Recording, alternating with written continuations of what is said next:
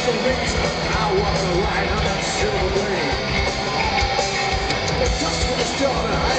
with a slaughter of incense.